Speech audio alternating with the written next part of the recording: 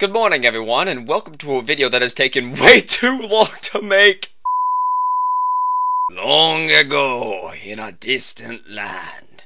I started Shin Megami Tensei Nocturne with the intent to play the game normally and enjoy it like a normal human being. But I got bored and stopped for several years, until the start of this year, when I decided I would attempt the game again and actually complete it this time. However, because challenge runs are all the rage, and I hate myself, I decided to arbitrarily make the game harder on myself in the only way I know how. Can you beat Shin Megami Tensei Nocturne without using any demons? First off, let's set some ground rules. The obvious one is that you are never allowed to use a demon in any way.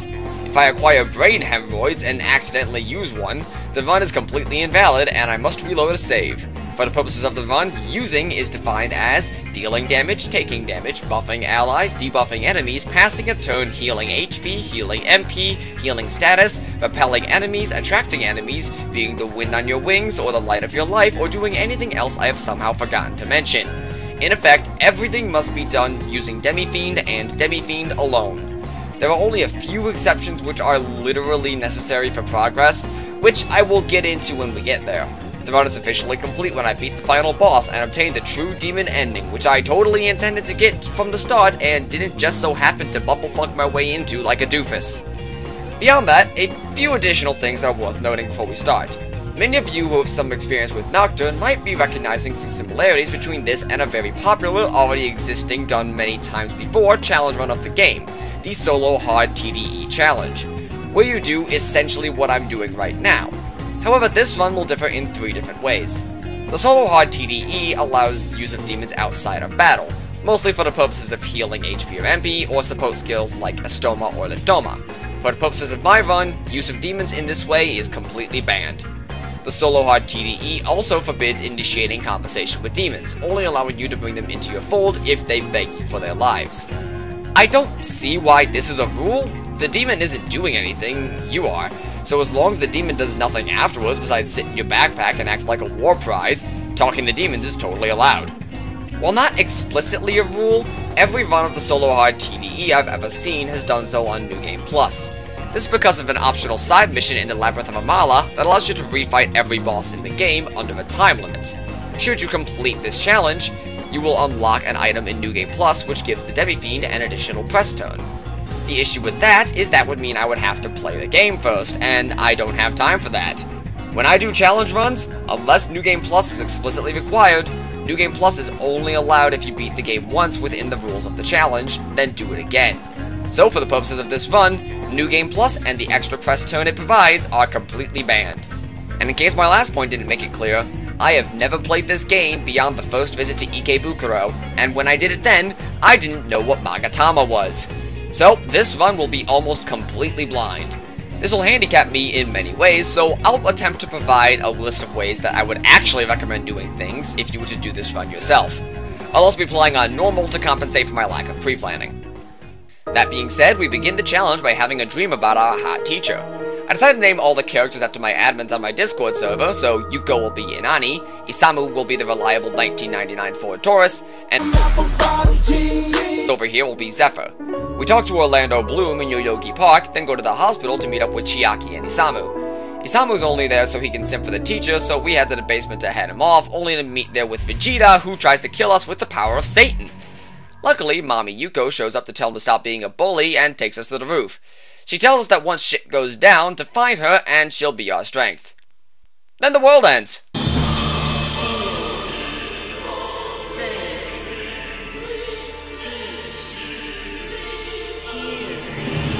The Great Disco Ball in the Sky tells us to find ourselves before we can create the world, but Draco Malfoy gives us demon crabs and robs us of the chance. Luckily, demon STDs give you superpowers in this game, and we walk away with the first Magatama, Maragaria. One quick trip to Legolas later, and we're in the tutorial. Luckily on normal, this is basically impossible to fuck up, and I put my first two points into magic, with the intent to be the best punch wizard since Gandalf. The fight against the Praetor is easy as long as you aren't stupid, and then we get to the only point in the game where I actually recommend you talk to something. A lot of the enemies here are strong enough that they can kill you if you aren't careful, so I actually recommend using talk to get out of fights you don't want to be in, particularly with the Hua Po, who, if there are three of them, can basically kill you in one turn. Once you're about level 7, make sure you grab the Mazio rock in this weird pavilion thing, and it becomes time to punch a fish. Punching fish tends to be difficult, so I recommend you electrocute it first. Touching things that are causing with electricity is a good idea, so punch it for extra damage. Sadly, at this point, we have no way to deal damage to it without sacrificing our own HP, so just beat the meat until the fish is cooked, allowing us to further our insect collection with the ice bug Wadatsumi. After successfully executing a kidnapping, we arrive in Shibuya and decide to hit up the club and go cruising for bitches. And to our surprise, we find just vibing in the club with her all-jean outfit. Unsatisfied with our lack of bitches, we proceed to court this cat girl by beating her to death like a true gentleman. She keeps trying to charm us, so I assume it worked.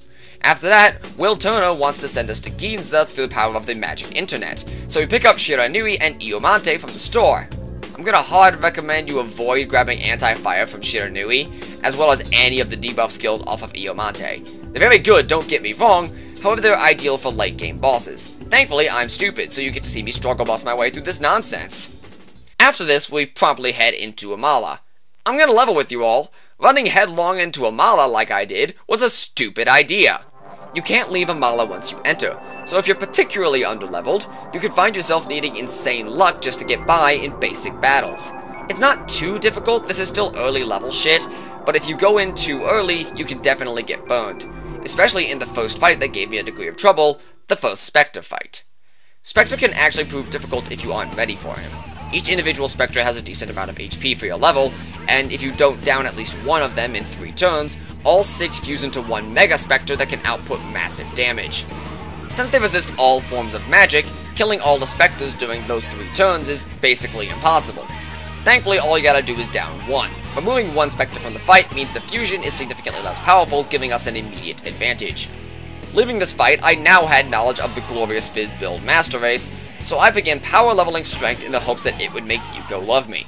After escaping the Amala network and doing some requisite waffling, we decided to head from Ginza across the desert to an abandoned warehouse that leads into the sewers where the mud people live. We learn they're hiding from the mantra, and promptly give next to no fucks about their situation.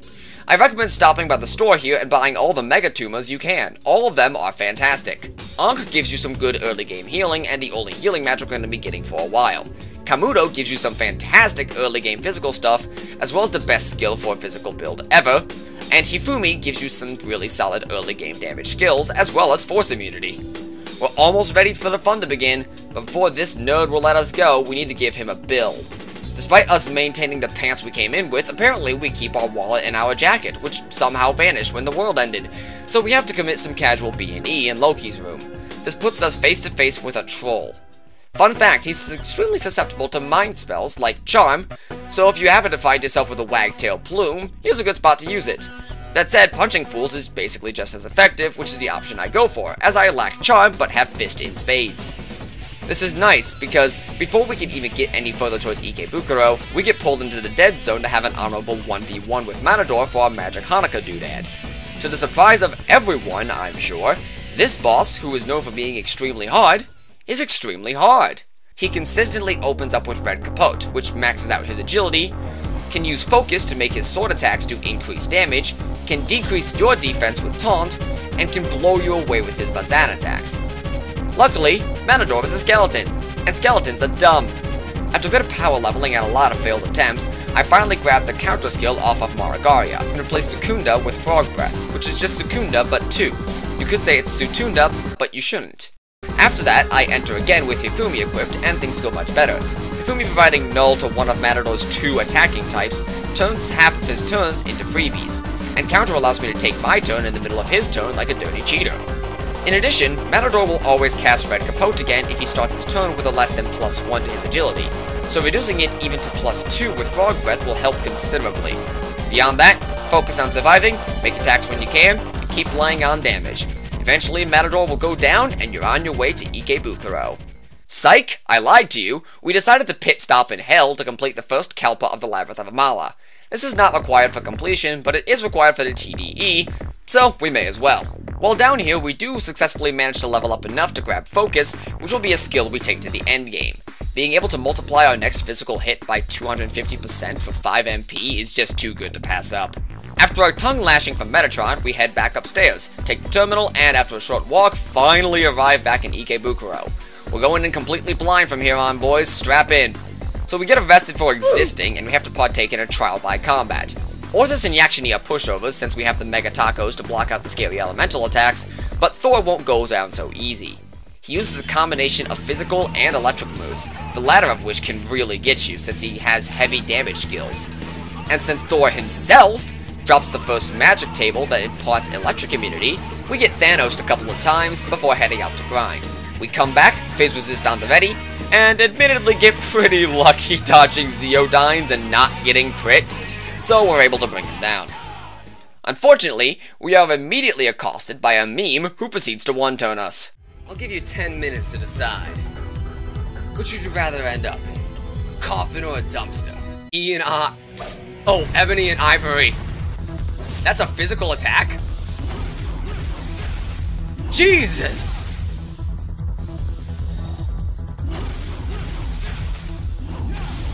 Christmas! Yeah, this would happen several times, since Dante just bends us over backwards and uses our body as a sword sheath. I'm not gonna lie, this fight is rough.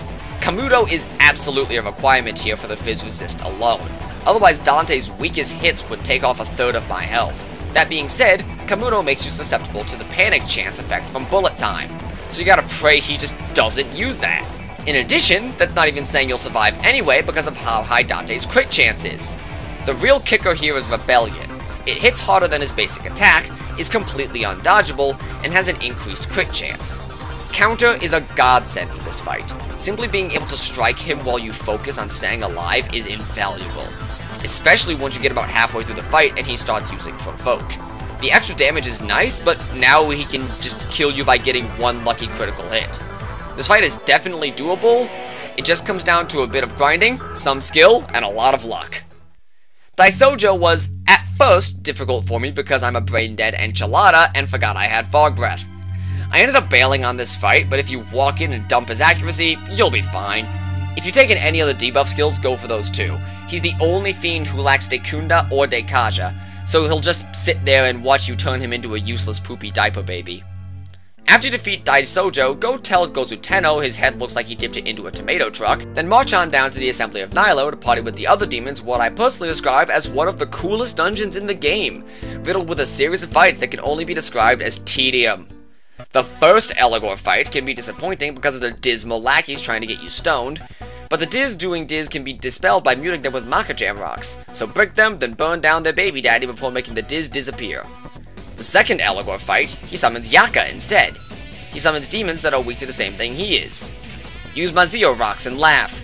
The third Eligor fight has him compensate by summoning Incubus. They can be annoying with their evil gaze attack since it reduces you to 1 HP, but if you've been red maging like me, you'll probably have picked up Tornado by this point. You'll almost guaranteed to hit something, and that something has a 2 in 3 chance to get you an extra turn. Spam Tornado and slap Eligor around when you're not.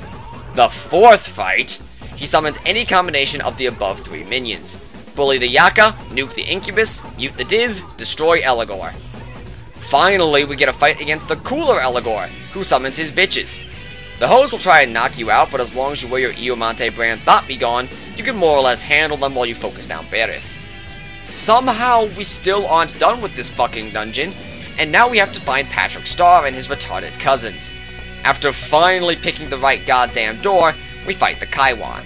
They like to cast Mudo spells, and there ain't much we can really do about that, but the Demi-Fiend has an inherent 50% resistance to all instant kills. We don't have Expel attacks yet, and they resist magic, so just keep punching and the mini-boss rush will eventually be over. We get to the final boss of the dungeon, commanded by Hikawa, who throws Cheetah Man at us. The Ose actually has the same strategy we do. He can actually be kind of difficult if he favors Tetrakarn, but he doesn't usually remove debuffs that you put on him. Load up on Fog Breath, buff when you can if you took any, focus up, and keep fucking swinging. This fight took me more tries than I'd like to admit, but eventually you'll prove society wrong and show that with enough effort, you can punch your way out of literally every problem. Especially if that problem runs out of MP in the middle of the fight.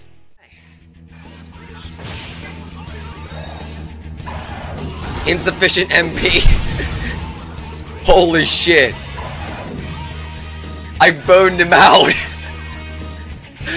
Holy shit.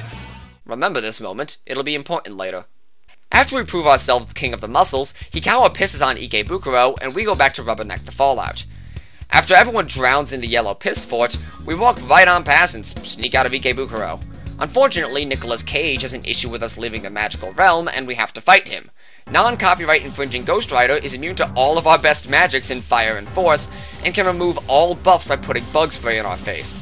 And that's about it. He's mostly just good for trying to do donuts and wheelies at us. Hellburner is heavy fire to everyone, but it somehow does less damage than the medium force Hell Exhaust. Hellspin is weaker than his basic attack, but is all target, which for us means it's one target, which just means it's worse. Plus, if you resist this attack, it'll do about 32 to 31 damage apiece. Dump his accuracy with Fog Breath if you want, but really, with Fizz Resist, Counter, and Focus, you can more or less just tank this fight. After committing vehicular manslaughter, we head to Kabukicho prison to turn ourselves in, but unfortunately the prison has been taken over by freeloaders, so we decide to commit a jailbreak instead. After failing to understand how the dungeon works for about two hours solid, we manage to make our way to professional prison guard Helix Snake, who challenges us to a fight. This fight is literally a fancy version of a normal enemy in the same dungeon. The only thing that he has is a fancy spell called Mirage, which does mediocre mind damage and can give you the heebie-jeebies. You have two options for this fight. If you value money more than your life, take Mind Null. If you like watching him squirm as he fails to do anything to you, take Ice Null. Show him your mixtape, then talk to the Mudmen. Dirt Gandhi tells us to go talk to Peter Drinkwater, and then we get told to fuck ourselves by a car. During my run, this is actually the point where I beat Daisojo, so at this point I go down to the second Kalpa. We forced our way through the realm of Purple Drank, got our ass kicked, then released the Backstreet Boys from their eternal slumber. This turned out to be a stupid idea, as it meant I had to fight the first one as soon as I rolled up in Asakusa 20 minutes later. But luckily, White Rider spawns next to the Everything to Fuck White Rider's shop. S seriously, save your pennies, buy Gehenna, then roll up on his ass. I hope you kept Tornado, because it's what turned this fight from an actual encounter into a goddamn joke. White Rider's main abilities are God's Bow, which instantly kills you with expel damage, and Prominence, the strongest fire attack in the game that now just heals us and forces him to adopt the thumb twiddling strategy. Probably to help with this, he summons two backup dancers to show up his awful moveset. The two things that save the day here are the fact that he just never chooses to use his instant win, and nobody in this entire party thought to pack a debuff remover today. Following this, we take on the three little Onis. This little Oni made his house out of force. This little Oni made his house out of ice. This little Oni made his house out of physical- Okay, that one may take some prep. So we head back to Asakusa and play the Puzzle Boy minigame for almost three hours. There's no joke here. I could write one, but just rewatching the footage while writing this script made me so mad I don't care anymore. It's literally required to get the best Magatama in the game, which gives you the best healing spells. Who the fuck did this and why? After Kinky forgets the safe word some more, we head back to the battle tower to beat some Pokemon to death with our bare hands. After we fuck with the moon more than Majora's Mask, we make our way to the top of the tower where we fight Clotho, Lachesis, and Atropos. We then fight them again because I wasn't aware I had to do all of this in one moon cycle and they feel like being picky. At which point, we're hit with the game's first major roadblock, where you have to fight all three of them at the same time. Blossom, Bubbles, and Buttercup over here will fuck you up more than Cartoon Network fucked them. Atropos is the caster. She's medium damage versions of every single element. Clotho is the healer. She'll basically heal and heal and heal some more unless everyone else is already at full health. She can also remove debuffs on them with Dekunda. Lachesis is the buffer. She'll debuff your defense, buff their defense, and buff their magic just to make sure you have the worst day possible. She can also erect Tetrakarn or Makarakarn to prevent you from doing anything you want to do. With only one press turn, this is all but impossible at the level I'm at. None of them have any weaknesses to take advantage of, so it's impossible to keep putting damage on the board while also healing yourself and removing the buffs they put on themselves. And you have to remove the buffs they put on themselves, because if they get more than one or two defense buffs, your damage output will dip so low that they can heal it off faster than you can dish it out. The same applies for magic, since Clotho's healing is tied to her magic stat. Once you do enough damage to one of them to make her start casting Diarama or Mediarama, if they have any buffs on them, it's over. All the while, you have to contend with healing off the damage that Atropos is doing. At the end of the day, it was simply not happening. And we don't have any buffing skills yet, because we get the mozzarella that gives us buffs from this exact fight. I had to do something no challenge runner ever likes to do. Something forbidden, except by only the most determined, the most dangerous. Something that would threaten my very life. I had to get good. I did the math and found out exactly what skills I would need to obtain, and didn't just look at a video of what someone else did. As it turned out, I was a bit retarded with my leveling, and burned out some skills that I really could have stood to grab. Particularly Void Fire and Void Ice. Luckily, I still had the Drain versions of those elements, so I changed my moveset to work around that. I also picked up Force Boost because I was still struggling with the Jolly Gold Giant, and he takes more damage from magic. This would be my first grinding session of many. It paid off. I was able to take down Goldilocks by dropping several tornadoes on his spiky face. Unfortunately, beating him unlocks a fight against the Batman himself, and as all Batman fans are aware, it's easiest to fight Batman during a full moon. He's like a werewolf, but not. Rather than spend an entire 5 hours getting beaten up by another Oni, I dipped to go beat up some hoes for stress relief.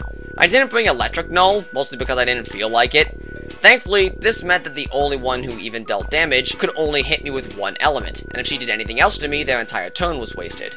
As such, I was able to vigorously pound Clotho with physical attacks. Kamehameha! We got her! Yeah, th that's a physical attack. Without the healer, this fight goes from remotely worrisome to a complete joke. In due time, Laxus goes down, and Atropos soon follows, unlocking the Jed mashed potato. And as everyone knows, mashed potatoes make you stronger. I wrote this joke days ago when scripting this and coming back to it. I think it was because Jed gives you nothing but buffs. Attack buff, agility, defense buff, and the ability to remove buffs on enemies. Whatever. Anyway, Inani becomes an SCP, and then we head to the sewers to lose miserably to Little Hood Riding Red Rider. I then travel to 4chan to defeat some internet trolls. The Spectres will try and soak your magic, but you can defeat them by not having any.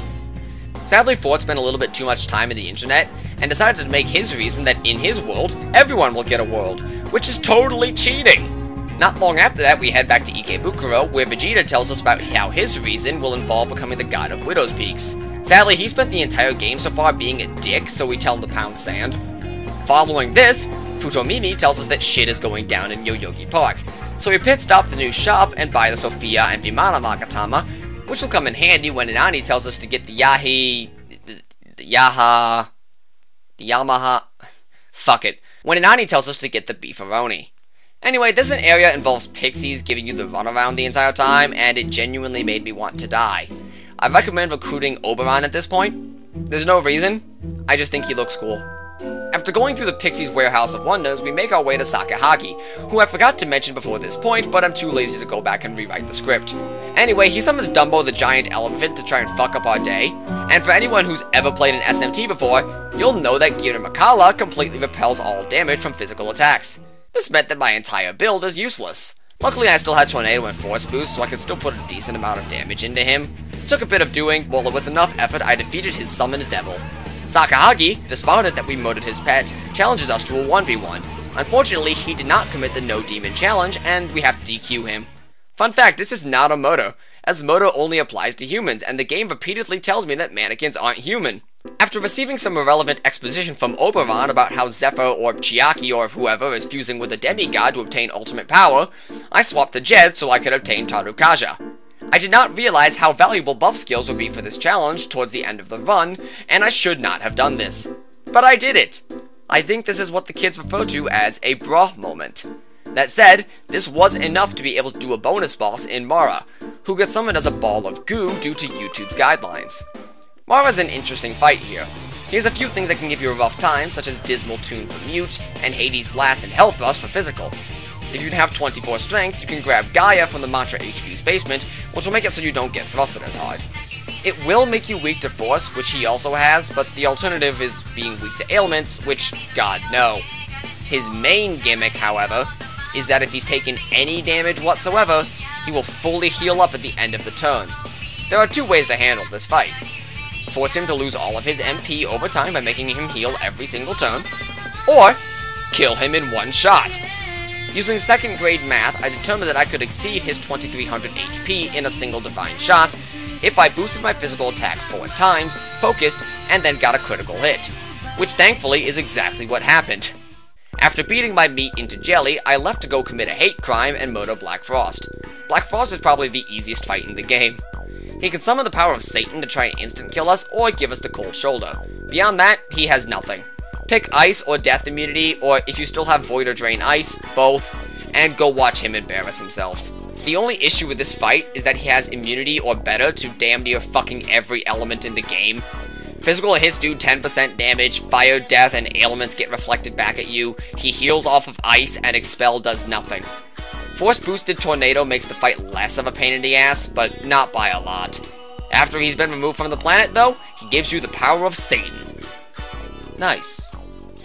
Following this, the 1999 Ford Taurus pulls a drive-by on Hijiri's ass and kidnaps him. We go in and he invites us to tea. However, before we go, we must defeat the Spectre one final time. And this fight sucks. Allow me to tell you why. The dev intended script for this fight involves the Spectres blowing themselves up and trying to kill you. This suicide bombing is almighty damage, but they're immune to this because fuck you. This would be fine, but they can also summon more of themselves. This prevents the strategy of debuffing them so they can't do anything. While there are three or four of them, it's entirely possible for them to bring in enough special forces to effectively reset the fight. This ability costs no MP, by the way, so they can do this as much as they want. This fight is entirely up to luck. Debuffs are useless. It's actually a good thing I still had Tarukaja here, because the plus 4 attack was the only thing that made this possible, as I can now one-shot a Spectre with Divine Shot unfocused. This didn't make it easy though. The only way I could consistently progress the fight was to get a crit, giving me a second action during my turn. If I didn't, the odds that they would simply summon another one was simply too high. This fight lasts as long as Todd Howard decides it does. Your skill and effort is not a factor. Pray to you, and hope God gives you good RNG.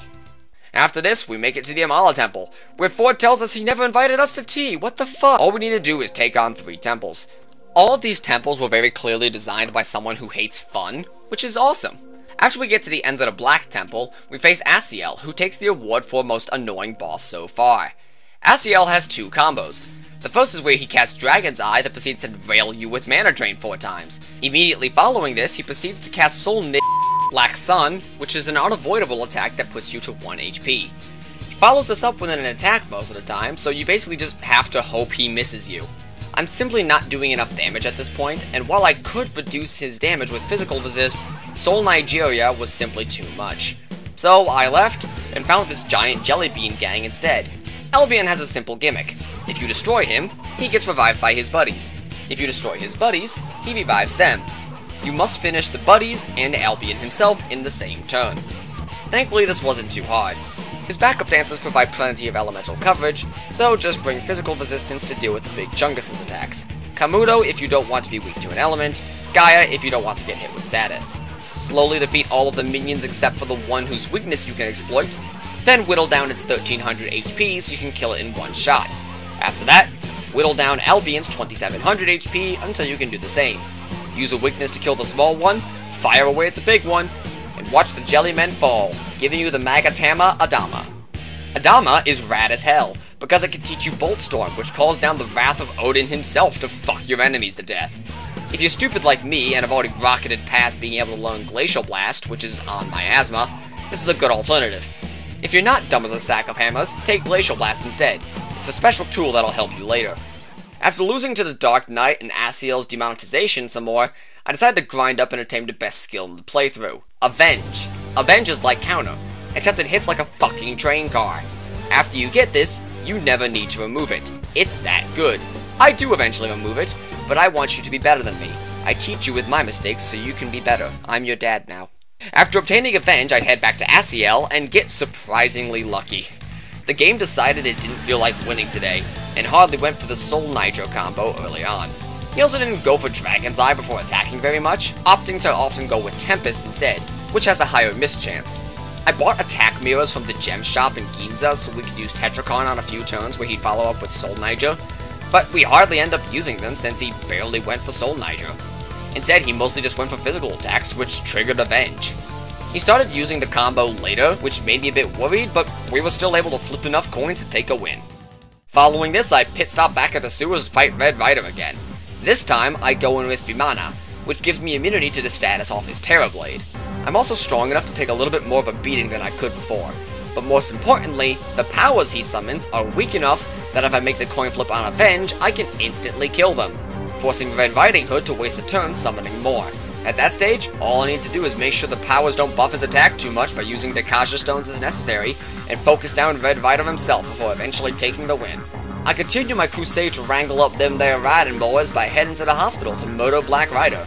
Black Rider could have been difficult, as he has Soul Divide, which cuts your current HP in half, as well as some high damage magic spells and two legions, which will increase his magic, but to be honest, he went for so many physical attacks that I was able to just blast him down with focused divine shots. I don't even remember what Magatama I had on, I think it was some form of physical resist, but it doesn't matter. He was that easy, and Black Rider and his meatballs fall in one try. As a victory lap, we go to take down a new fiend, Mommy Harlot, who attempts to make kissy faces at us. I, I think. Mother Dearest is a pain in the ass, because she's another boss designed by people who hate fun. She reflects physical, so my main strategy is out. Her electric moves aren't that dangerous, but she also cancels electric as well, which leaves us only able to damage her with Tornado. And when she can heal herself for 500 with Beast Roar, the end result is you not dealing a lot of damage at all. I decide to table this fight for now and go fight Pale Rider instead, but sadly, the final rider proves to be harder than writing this script. He summons the logo from Skeleton Warriors, who take the cake for the most annoying shit-ass ads ever. They can hit you with sleep, poison, stone, instant death, or worst of all, debilitate. As I said before, we have no way to remove debuffs on ourselves, so this is just a permanent accuracy evasion debuff. And if you do enough damage to them, they'll just fucking kill themselves with Last Resort, which is a shitload of damage to everyone on the field, except Pale Rider, who heals from this very specific form of almighty damage, because game mechanics don't mean anything in this game. Only you have to follow the rules, you stupid rule follower. In addition, Pale Rider also has Pestilence, which deals almighty damage and instant kills you if you've been poisoned. He also has Eternal Arrest, which instant kills you if you've been put to sleep. In short, never get hit by status ever. That's the strategy, just don't get grabbed, stupid. Wanted to go back to the land of mechanics that make sense, I returned for one final attempt at Ongyo-Ki, who can make copies of himself and attack four times. You can only see which one is the real one if you fight him during the full moon. Full disclosure, I actually kind of love this boss, I'm just mad. Thankfully we get extremely lucky, and he triggers Avenge enough times that we can burn him down, unlocking another Magatama, Murakumo.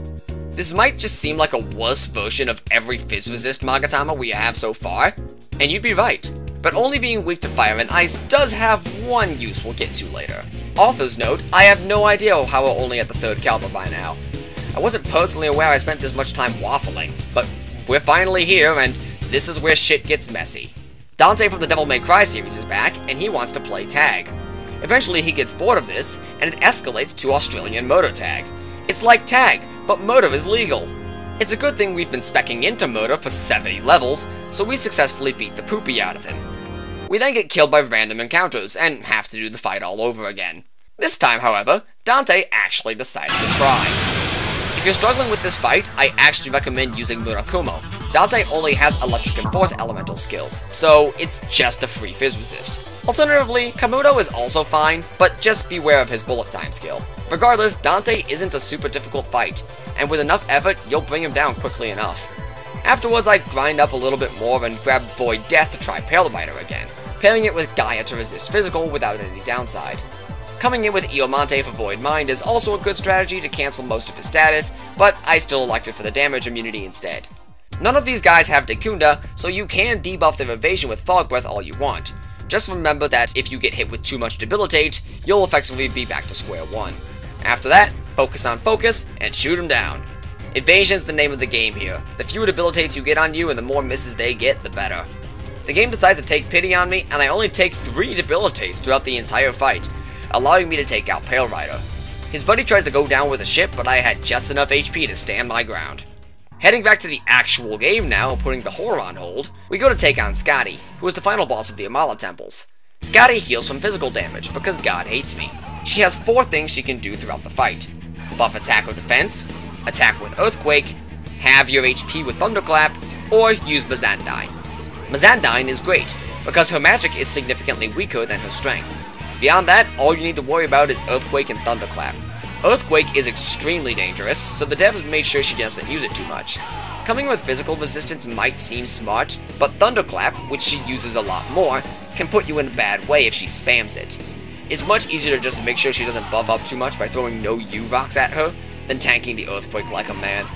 When she uses Thunderclap, it'll cost her turns as long as you brought in Void Expel, so you'll be able to slowly whittle her down with whatever magic attacks you have until you eventually pull out a win. After unlocking the innermost part of the Temple of the Greybeards, Ford throws Orlando Bloom into the vat of Kool-Aid in order to summon Moby Dick, and promptly fucks off. The angels show up to exposit to me about how G is about to commit genocide against the Mud People, so we go to their holy land via Sakusa to educate Zephyr about the importance of properly delivering exposition.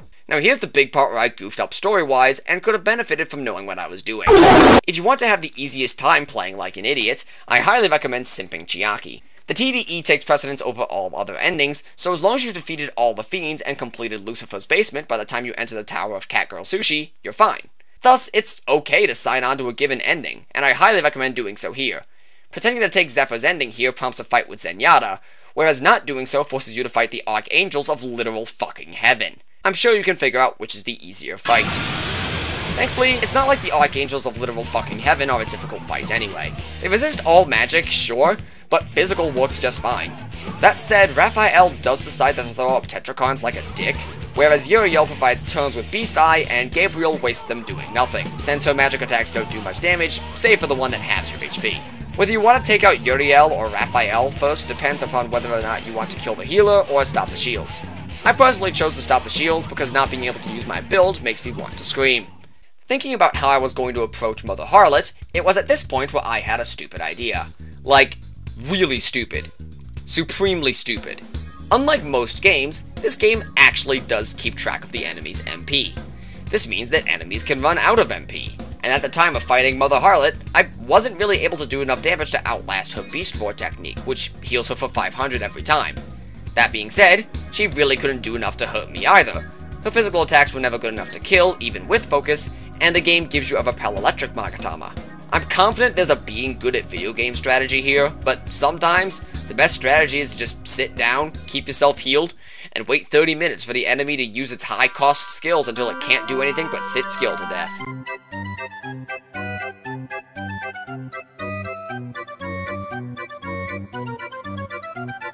Following this, we are put face to face with Trumpeter. You know what, we're, we're, we're gonna try to ignore him. I will, I will not stay here. Hell yeah! After promptly running away from Trumpeter, we arrive at Trump Tower, and have to fight Fire Sword McGee over here. Surt is actually an interesting demon, since his basic attack is actually part fire. He also has some of the most high damage fire skills in the game, spells capable of one-shotting you on hard mode. As such, we wear our flame retardant underwear, and Surt just kind of gives up because we put on Gehenna. Following this, we go to fight Mada, only to find ourselves unable to do much damage. Meanwhile, Trumpeter completely bodies us in four turns when we go back and try. As such, we leave to go do some prep work. We beat up Samurai Jack and he gives us a gun. Using this gun, we can fire off blasts of wind as well as lasers from our eyes. We also make sure to pick up the Endure ability off of Vimana. Thankfully, these are enough to make Mada easy. The Ansi summon can be neutered with Makajam stones, allowing you to focus on wind-cutting Mada to death. I recommend Iomante to prevent you from being intoxicated. And then there is Mot who is as easy as the game decides to make him. There's not really much you can do here unless the game decides to be nice. Mot is one of the only enemies who's programmed to be able to use Beast Eye multiple times in a turn. However, his AI isn't that great, and he might use those turns fruitlessly buffing magic, even if it's already capped. On hard, this can mean your death if he decides to follow up with a Megidolon, but on normal, it only maybe means your death. Just spam Bolt Storm until the game decides to let you win. The last thing between us and Vegeta is Mithra. Mithra's gimmick to fighting you is trying his hardest to cheat. He always uses Dragon Eye and does nothing but spam instant kills. Thankfully, instant kills still need to hit in order to roll their odds, so use Fog Breath to dump his accuracy. He only has 4500 HP, so focus and spam Unibeams as he keeps rolling for instant kills rather than actually dealing any damage. After this, we finally enter Hikawa's Tilt-A-Whirl, and we tell him we're simping our teacher today. As such, Vegeta decides to summon Slifer, the executive producer, in attack mode. He tries to play deck traps on us to prevent us from playing any cards or to heal ourselves, but really we go in with a strategy that largely involves beating the shit out of him with our dual disc. which is how I win most Yu-Gi-Oh! duels. Anyway, so our mommy gives us the Millennium Puzzle and tells us to change the world before saying goodbye. And then we proceed to go die to Trumpeter. 156 times in a row. Seriously, this fight took me 8 hours in and of itself, not counting the literal weeks of grinding I did to prepare for it. I was level 102 by the end of it all. This is the biggest luck check in the entire game. I ended up bringing Adama for the electric repel since he seems to favor my although he does have Mazandyne, so that could have easily backfired. Really, any Magatama works here. It doesn't change how much you'll die. I recommend dumping his accuracy with two Fog Breaths to give yourself the best odds of a dodge, and then going in with Focus Spiral Viper. After he drops you to 1 HP with Evil Melody, you're going to need to heal, which is just a wasted turn no matter which way you slice it. And even then, you need 3 crits after that on those Spiral Vipers you're throwing out, or you simply won't have enough time to deal enough damage. This fight is nothing but having the right skills and a shitload of luck. You're backing on multiple crits happening at the right times, while also dodging a follow-up attack after Evil Melody. In addition, you need to make sure that you don't deal too much damage, because after Evil Melody, four turns later he uses Holy Melody.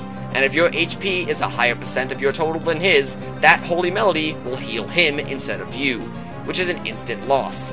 And there's no way to dodge the second Evil Melody. On turn 12, you lose, full stop. This fight is a game of blackjack where the dealer is playing Texas Hold'em and you still need to find a way to beat his hand five times in a row or he'll shoot you in the face and steal your fucking wallet. Counting cards is not an option here. It is a requirement. Without Endure, you would need to be such a high level that you could four-shot him with crits, which is just not even remotely feasible. This fight is nothing but luck. But, with enough luck, you can eventually do it. Well, let's just get three crits right now. Let's just get three crits. Right now, let's do it.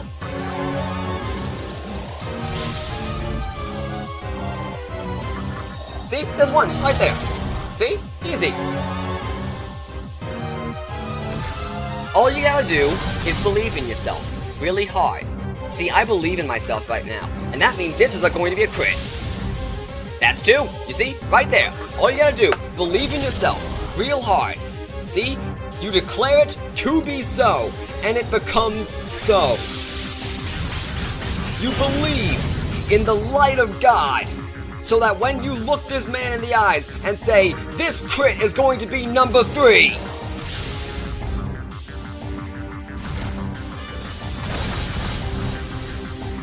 and then this crit is going to be number three.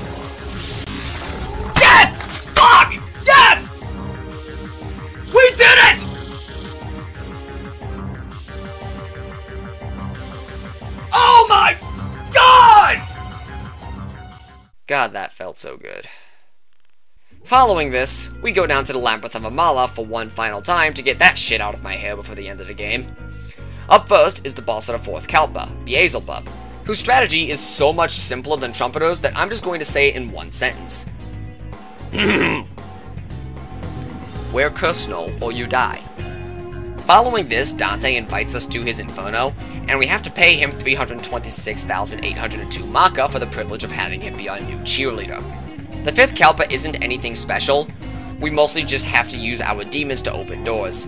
But we do upgrade our Pixie to her ultimate form, and then promptly put her on the bench where she belongs, only to have her open up all the stat-gated doors. And then finally, we are put up against our final battle of the Kalpas, Alan Rickman. The first phase of this fight is not hard. He basically doesn't do anything but use basic physical attacks and spam holy magic like a good white mage. After we deck him enough though, he finally decides to start trying. It's at this stage when he begins casting Tarukaja, Makakaja, and worst off, Debilitate. This presents us with a conundrum.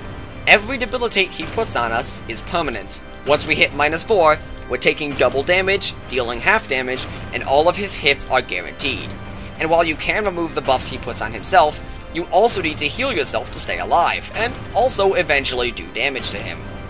I'm sure the option exists to win this with the way I have it set up, but god help me if I know what it is. With no options, I resorted to my last resort strategy. Megatron only starts taking things seriously after you deal enough damage, meaning so long as you never push him below that threshold, he'll stick to Holy Wrath, Mahamon, Megidolan, and basic attacks. He'll throw out Dekunda if you put debuffs on him, but really that's about it.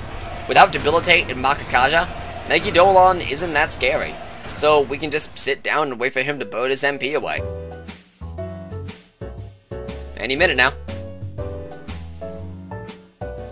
Any minute now. Yeah, as it turns out, burning away 10,000 MP takes a lot of time. This fight took an hour and a half. Thankfully, a strategy of stalling prevents it from doing anything to hurt us later on, so we win by default. Following this, Lucifer finally unlocks the Pierce skill for us, and we enter the Tower of Kagutsuchi for the end game. We don't take Pierce quite yet, though. Once we take Pierce, I know we'll never be removing it, so I don't want to make that commitment yet. Instead, we move forward, coming face to face with Vegeta, who is ascended to the god of all hentai. Unable to beat him, we decide to finally start using buffs and pick up Rakukaja and Sukukaja. This gives us the edge we need, but Ahriman still gives us a rough go of it. Properly timing damage to allow us to skip bad phases of his game when he tells us what we can and can't do will allow us to get to the fight proper. I recommend using this time to buff yourself and debuff him, since he doesn't have access to Dekaja or Dekunda yet. During his second phase, he does gain these skills though, but on the winning run he just decides not to use them until the last second, which allows us to nearly throw the fight before we win. Following this is the fight against Noah, who is mostly completely pathetic. His gimmick is reflecting all damage except for one specific element, which he rotates around as he uses Aurora. He even reduces almighty damage by 90%. This is annoying, but manageable, until he decides to break out the BDSM, which gives him pleasure from our pain. Shocker, when I only have rocks that deal fire and ice damage, and my force and electric damage isn't good enough to outpace him stealing almost 200 HP a turn, I quickly run out of options. Even with Pierce, I can't do anything in this fight, since Pierce doesn't stop Repel. Thankfully, I have one more option. The game gives you the option to ignore Noah entirely, taking the elevator upstairs to the town of JC Penney's, where the mannequins now live. And it's here where the LGBT community blesses us with divine power, Freikugel. Or, as Google tells me it's called, freeballing. After obtaining this power, the Pope gives us a literal divine sword, which we use to go unlock four optional bosses. These are definitely optional, however beating all four gives us the Masakados Magatama, which makes us immune to literally everything but almighty damage. So yeah, we're gonna do that. The gimmick of this area is that we have to level 4 pillars, and doing so has us fight the 4 Heavenly Kings, Blinky, Pinky, Inky, and Bishamon.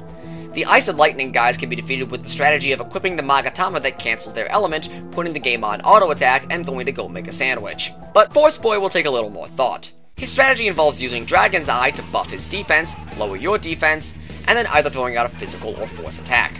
After he does this four turns in a row, he'll swap to buffing his magic and then performing three attacks. After a bit of thought though, we figure out a counterplay. Step 1. Wear Gundari. This prevents any of his force moves from working and ends his turn immediately. Step 2. Whenever he casts Rakunda on you, use Rakukaja right back. This removes his debuffs manually over time. Step 3.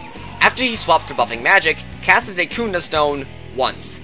This removes his defense buffs, and we don't care about his magic buffs anyway. Gundari cancels them. Number 4. Go in. Gundari's ability to absorb force means that all of his force attacks are useless, and his magic buffs are wasted turns and wasted effort. The only thing we need to worry about now is physical damage, which we can negate with Tetrakarn or just plow through like a champion. And then there's Bishamon. Or, I should say, this is when I started fighting Bishamon. We'll get back to him, but over the course of my attempting to fight Bishamon, I went back and beat every single boss besides the final one. To briefly cover everything, Noah was easy once I got Pierce and Freikugel. Since he only resists Almighty, Pierce cancels that entirely, meaning free balling does full damage. At this point he can't do anything to stop us. The final reason fight we have is against Cock Dick Balling Avatar, whose gimmick is turning us into a fly.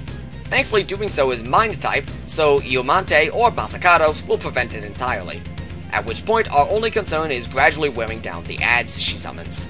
Flauros can cast buffs, and Ose can remove debuffs and put up shields, so I recommend taking out Ose first. Then Flauros, and then watches Baal Avatar struggles as you wear her down. Finally, we've come face to face with Kagutsuchi, the thing that will shape the new world. And we're gonna make sure that nobody can ever save the world again. Kagutsuchi is actually a neat fight. The first phase has the moon changing, which actually alters his defenses independent of buffs and debuffs. At full, his defense is doubled. At new, it's halved. Yamagatama really doesn't matter for this fight. His attacks are part almighty, so resistances don't really matter. When the moon is full, he'll always use Vast Light, which does a large amount of unblockable almighty damage, so I suggest you make sure you're healed for that. As I said, Magatama doesn't matter, but I recommend Iomante to Null Charm in the future. Once the second phase begins is where he shakes things up a bit. His moveset stays mostly the same, though his defense is no longer changed when the moon is changing. In addition, whenever he says a dialogue, he'll always use Infinite Light next turn, a move capable of dropping your HP by a large amount, even with buffs. Again, make sure you're healed, watch your MP, and slowly whittle him down and take your win. You can't kill me. Yeah! God is dead!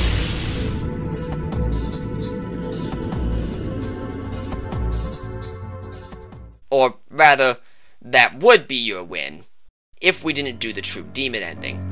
Instead, Lucy Liu pulls us aside to pat us on the back for destroying all of reality, and offers us a job interview for General of Hell's Assault on God. So we put on our suit, grab our resume, and immediately choke! Oh my god! So, let me tell you why Lucifer is knocking butts. Lucifer has an HP of FFFF. What the F does that stand for? Well, in hexadecimal, OXFFFF is equal to 65,535. He also has the same amount of MP, in case you thought stalling him out was going to be a strategy today. And he has 75% resistance to everything, including Almighty, because Lucifer don't play by no rules. In addition, Halale over here has some of the meatiest attacks in the game. Dekunda and Dekaja for buff control, Diarama to heal himself, 40s in every stat, Prominence and Glacial Blast, and Megidolon for good measure. And that's not even his exclusive skills. First on the table is Evil Gleam, a 60% chance against Charm for your entire field. This is actually why I recommend Iomante, because if you get Charmed and fully heal him, lol GG. After you deal enough damage, he starts breaking out High King. Extremely high almighty damage, completely unblockable, and 100% bind chance. And this besides, Lucifer still has a basic attack, which is also part almighty, and is also unblockable, which deals over 150 damage with an extremely high crit chance.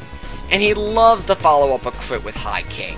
He can one-shot you at any time with crit High King, crit High King. There is nothing you can do about that. And even if you were to theoretically get past all of that, you have to contend with Root of Evil, or as I like to call it, the Vindictive Dungeon Master. Basically, the game rolls a d10. On a 10, you're poisoned. On a 9, you're muted. On an 8, you're stunned.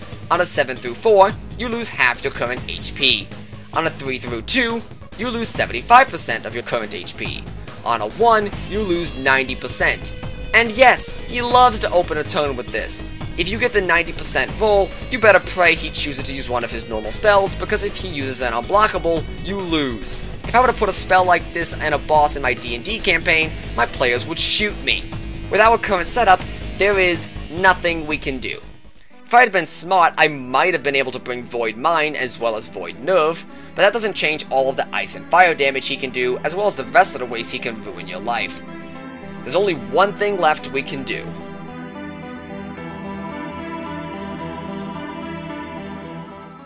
You could not live with your own failure.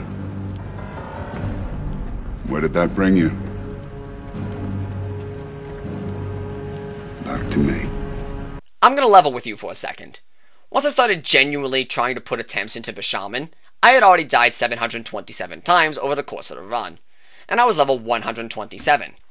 By the time that I beat him, I was level 255 and died 1,428 times total. I actually died 701 times on this single fight because I did not properly prepare.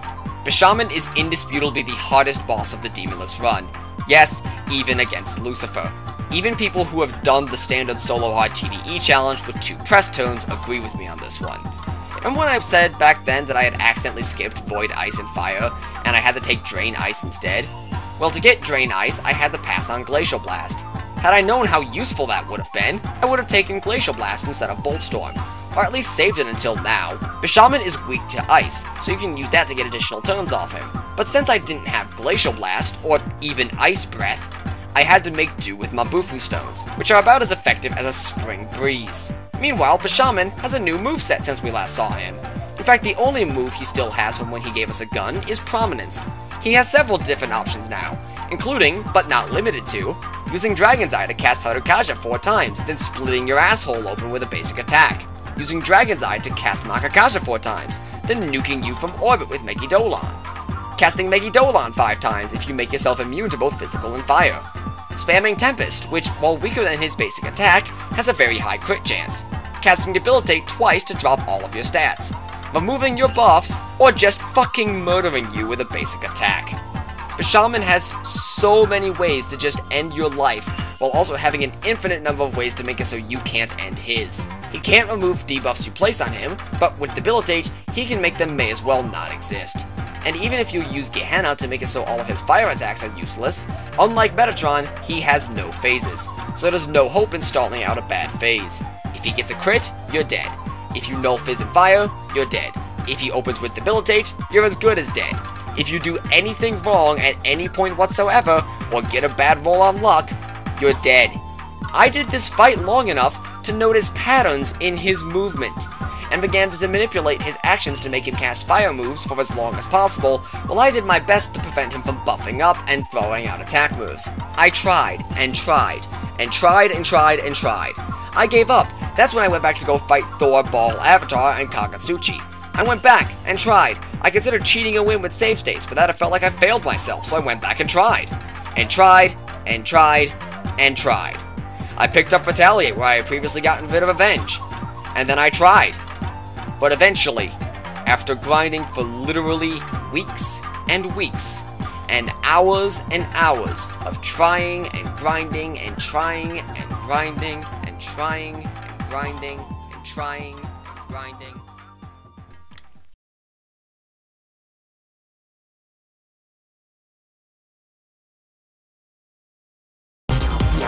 Well, let's just, let's just try going in again. See how that happens. See how that plays out.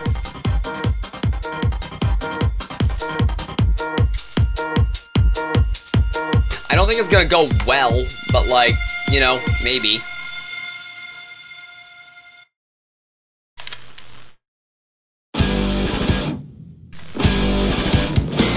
Sixty-six. Alright. 298. Okay, we need to skip out of this phase. 73. And a heal. Okay, thank God. I want him in this phase, so let's just do one thing. 24, 48. They'll take that. 69. Ow. 26, 13. I'm fine with this. 72. Tempest. 24, 38. 10,005. I'm fine with this. 72. And a heal. Okay. Oh, okay, I need it. That? So he just prominence us, so do we go in? I don't think we go in. I do not I do not feel comfortable going in. However, I will. 67. Good move. Ow. 2569.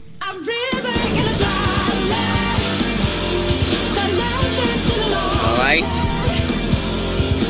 Let's try to keep him in this phase.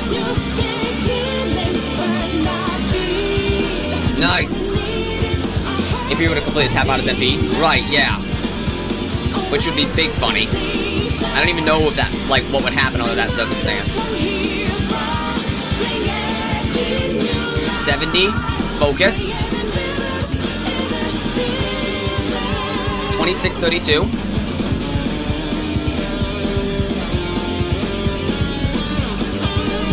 Sixty-nine.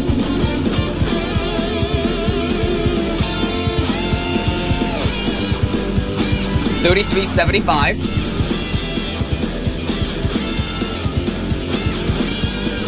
Plus one Naotos, okay.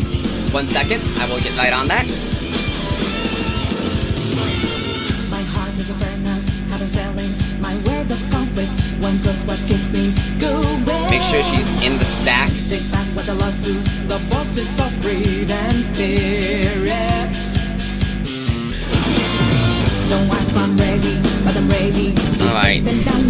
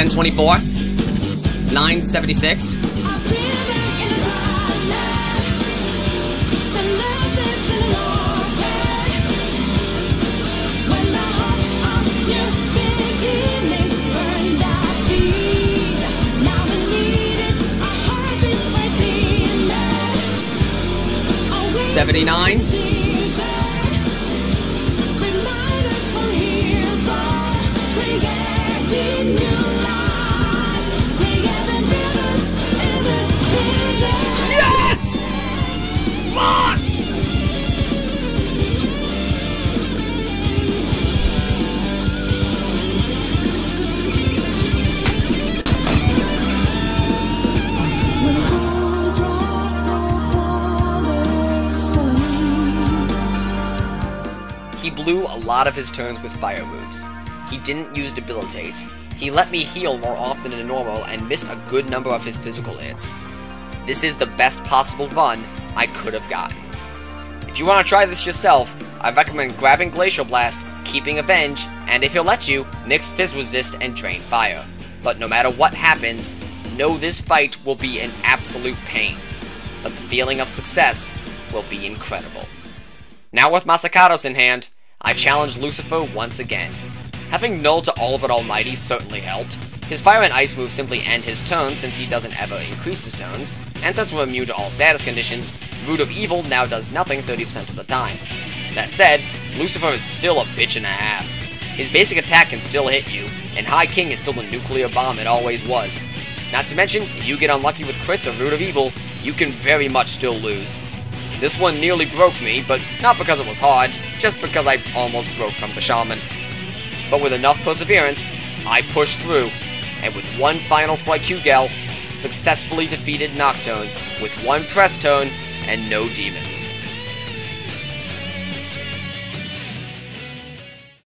This run was a monster, as well as writing the script. It took me a while to get into writing scripts, as well as figuring out how to make videos in a style I liked.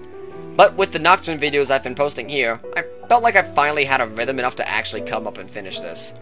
Kinda like the run, part of me wondered if I would ever actually finish the script. But I did, and now I finally have the ability to say, yes, I did this, here's proof. This is definitely the hardest challenge Nocturne has. One press turn severely limits your options, so much so that normal mode is still very much a challenge. To anyone looking to do this, especially on hard, don't. Just don't. Just do New Game Plus, please. Grind up demons and beat the boss fights in the Amala Network so you can get the second press turn. This run is cruel and a bastard. God damn though if it wasn't rewarding. I still love this game dearly, even after that. This was my first run of the game. I've beaten multiple SMT games demonless, but this was by far the hardest. And it was so fun. I highly recommend giving the solo hard TDE a shot, at least on New Game Plus. Anyway, thank you all for watching. If you liked the video, give it a thumbs up, and maybe subscribe for more Nocturne. If not, that's fine too. I'm glad you watched anyway. Take it easy, guys, and I'll see you next time. Love yous.